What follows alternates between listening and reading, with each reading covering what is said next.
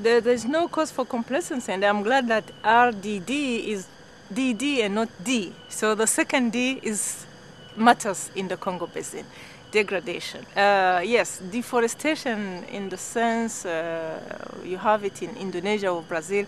Uh, luckily, so far hasn't happened in, in Central Africa, uh, but I think in, in, in, in the sense that REDD can be a scheme to encourage countries to actually, you know, really stop deforestation, then I think that that part of the world should not be forgotten, whether or not we have the second D. But luckily we have the second D, so I think it's going to be uh, important that uh, uh, the countries of the region are also brought on, on board with uh, the discussion to move towards, uh, you know, uh, greenhouse emission reduction through the forestry sector interventions.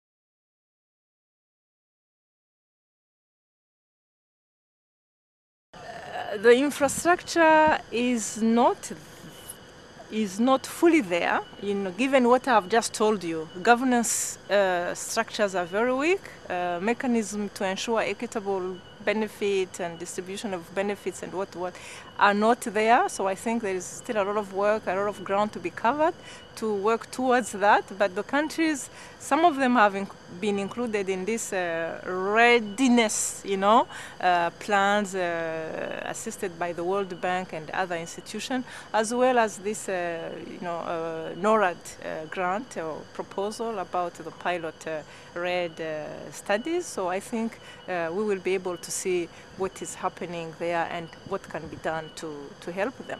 The countries of the region are pretty much aware of uh, the discussions uh, happening around REDD. They are, I would say they are very well organized because they have this regional body called COMIFAC, Commission de Forêt d'Afrique Centrale, that is really trying to get the countries together so they can have a, a common uh, position in Copenhagen.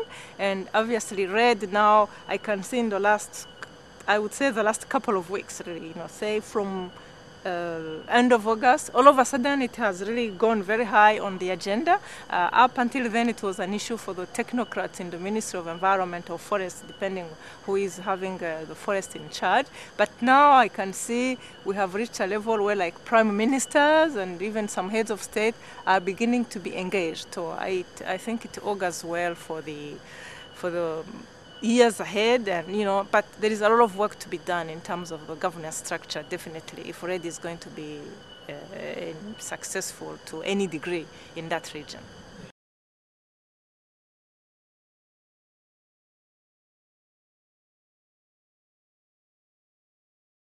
The population in general, if I exclude from that the elite, uh, is, has a, always been very much aware of the value of the forest from an environmental perspective and a, a livelihood perspective.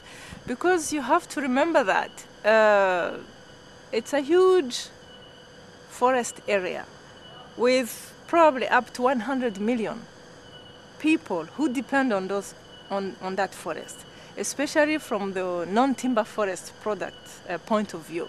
So they see the ex exploitation of timber as a nuisance, to be, to be honest with you, because they see that the revenues coming from timber extraction and export is not really trickling down to the, to the level of the population. They were somehow much better off before timber ex extractions and exploitation came into being. So they value the forest more from this holistic approach, you know, the socio-economic environmental services uh, point of view than just purely the timber export. So it's just a matter of, actually for them it's like, well, this is what we have been aware all along, maybe we didn't call it REDD or whatever, but the forest is their habitat and they care very much about preserving the forest.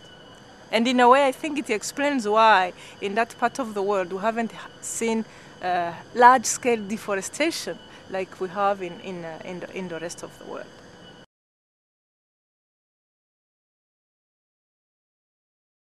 It's very, very exciting. I came to CIFOR coming uh, from, uh, from the UN, where I was also involved in, uh, you know, environmental uh, issues.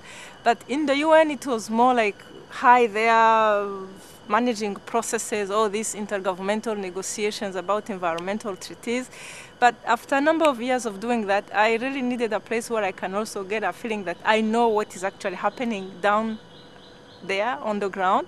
And to also be back in the research arena, even though I don't do research myself as such, or very marginally, but just to be associated with a, you know, a research community where science is uh, uh, the major uh, you know, focus because, you know, I'm, I'm convinced that science has a lot to contribute to making the, world a better place. So for me to come at CIFOR Science for better forest management, to improve livelihoods, to improve governance, to improve environmental services, it's like the ideal spot where I could be at this point in time in my life.